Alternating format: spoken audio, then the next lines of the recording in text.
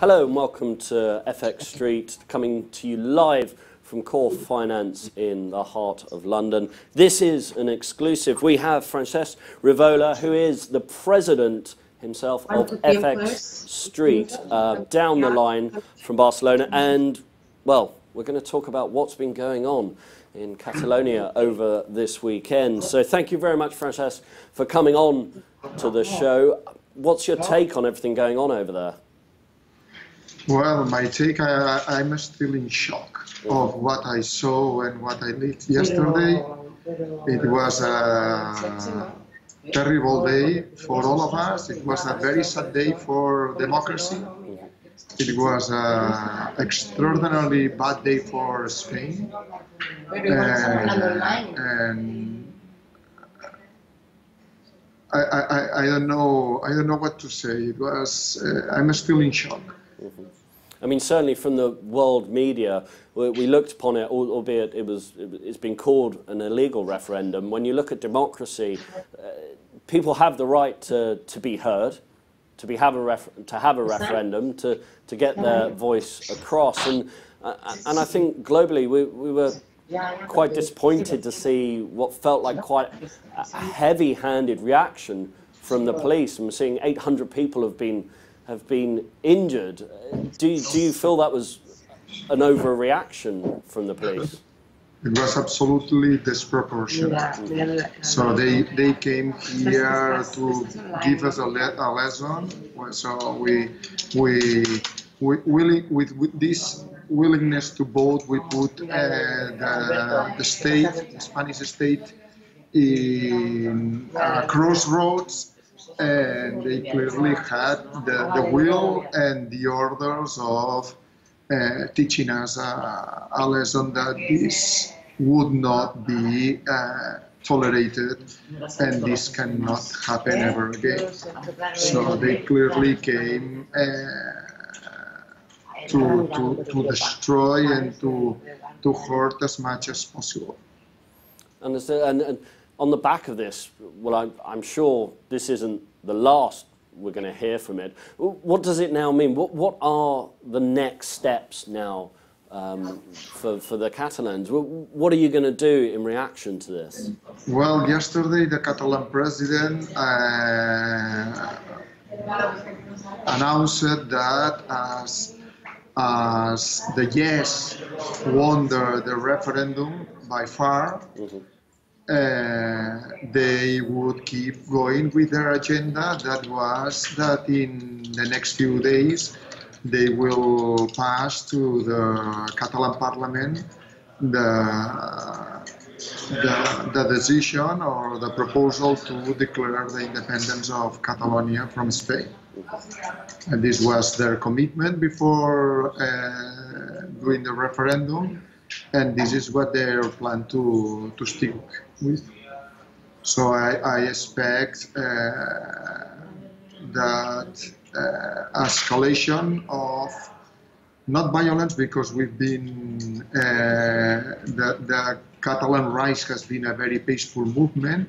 Even I don't know if you saw uh, yesterday's videos of uh, of police charges people were defending themselves without uh, striking back. They were just uh, holding police and not leaving the, the, the polling stations. Uh, trying to exercise their, their right to vote. So I don't think there will be uh, riots or escalation of violence, but uh, there is a strong willingness here that uh, this is uh, something that uh, we are going to, to do and we have to keep keep doing it and, and, and hold uh, all the aggressions and with the, the better smile you can. But this won't stop us. There is also scheduled a, a general strike for tomorrow. Mm -hmm we just had an internal discussion today about what we had to do. We decided that we will go for the strike and see see what what's next? No, nobody knows. Nobody knows. And, and as our viewers can probably see, there's there's a bit of activity behind you. Um, just explain what, what your staff are, are, are, going to be doing now at midday. Yeah, now everyone that is uh, uh, in favor of uh, going to protest. Uh, there is a, uh, there is now a stop. Everyone has to go down to the streets from 10 to from 12 to 12:10 to to show uh, our our our position against what happened yesterday. Understood. And so I won't keep you that long. I'm sure you want to, to go and have your, your voice heard um, and, and join your staff um, in, in the peaceful um, protest. Exactly. Just before you go, um, can you just explain to our viewers what potentially this, this means for, for Spain and the rest of Europe and, and maybe potentially what that could mean for the euro? Well, for Spain, I think that uh, it's a very bad uh, thing for their image. Everyone is, is seeing that the democracy in Spain is in its uh, it's long it's far away from being uh, a real democracy. And unfortunately, to- totalitarianism and even fascism is still very well rooted in, this, in the in the power circles and in I would dare to say in more or less half of the society, and in, intolerance is all over the place. It's true that uh, uh, Spanish uh, uh, government and the Spanish PP, the, the, the party that is ruling the, the, the government, they have been playing with matches the last few years uh, trying to raise uh, Spanish people against Catalans. Uh, first, we were when we tried to do a new referendum that they tried to collect signatures against it, mm-hmm. then turned it down through the constitutional court and so on. And well, it's it's been uh, they've been feeding a, a sentiment against uh, Catalans and why we speak another language, why we think different, why we feel that we are Catalans and not mm-hmm. Spaniards. So now it's very difficult to undo this this sentiment in very rooted in, in more or less half of the population. So they, they, they are in, in, a, in a crossroad and they don't know how to, to get out for the euro, uh, for the time being, we are not seeing any reaction in, in Europe. Uh, it's a deception for us. Uh, they keep saying that this is an internal issue in Spain and this is so, uh, something that Spain has to solve, but clearly Spain is incapable to solve it by itself.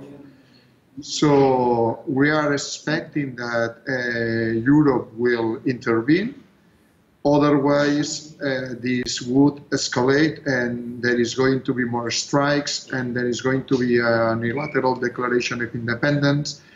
Uh, there are here over 10,000 police uh, policemen sent by the Spanish state that they are going to stay here for as long as needed. And it will be more and more difficult to keep, to keep it as a peaceful movement. Mm-hmm. So uh, I think that it's a bad news for euro.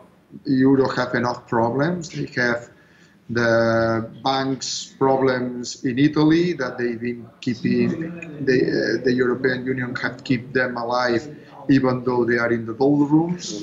Uh, there is the Brexit going on that this is going to hurt so I don't think that opening a third front would be good for Europe. Yeah. We are going to issue a statement tomorrow saying attention that shortening the euro, even though a USD weakness, uh, it's something that could not be stupid to do. So I don't think it's good news for euro and. Uh, for the euro, and uh, of course, it's very bad news for the European Union and to be perceived by its citizens as something more than just uh, uh, uh, states' political interests group.